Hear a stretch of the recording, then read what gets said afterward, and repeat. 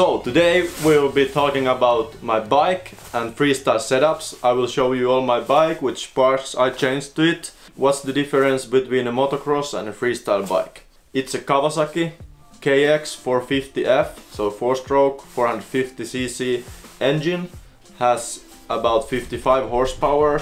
Let's start with the most important parts. So this is a normal motocross seat and this is a freestyle seat. So the freestyle seat is like 15 cents smaller because I cut the foam off and just put the seat cover back. So then I'm able to grab my bike better with doing the holes in my rear plastic so I can grab it and hang after the bike and do different variants of seat grabs.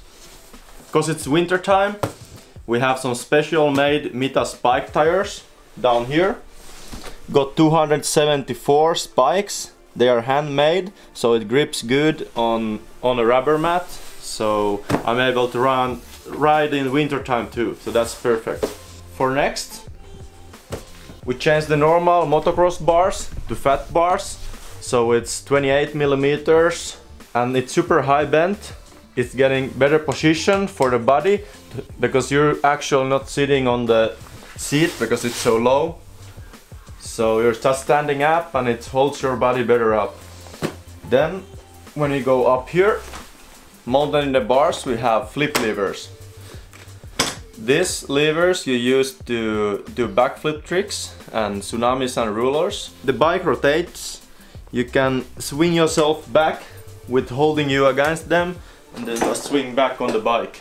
So that's how, then we just put them down when we don't need them. So it's used like to super flips and heel clicker flips, everything you need to get back on the bike when it's rotating.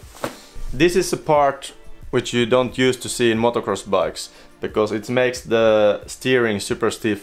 It's a GPR steering stabilizer. I used to run on one and when I do flip tricks and have to leave my hands from the bars, I just put it on 8. That's something you really need in freestyle nowadays when the tricks are going upside down and to side and everything. So you can hold the, the bar still straight when you leave the bars. Still the most important part is the suspension because it's doing all the work when you hit the big ramp and a big landing. So with basic motocross suspension would be would be impossible to land good without breaking the bike so they are super stiff. Also the the rear suspension is super stiff so it takes the hard hard landing and impacts. For having a good grip used to put this grip tape. It's the same cover as in skateboards and stuff like this so you don't slip with your hands if it's wet or something. The engine is totally normal, it's a stock one, but I used to have a FMF pipe, just, just the slip-on, because it gives a little bit more power on the ramp. And then I used to change the 52 sprocket. The stock one is 50, so it's just too bigger. But yeah, actually that's everything. So actually there is a big difference. Bike is same, but the setups are setups and parts are different. Hope you like this video, subscribe the channel and see you next time. Finally I will test a real sauna because every time that Seb comes to Spain is like uh, this is not a real sauna so put me into a real sauna.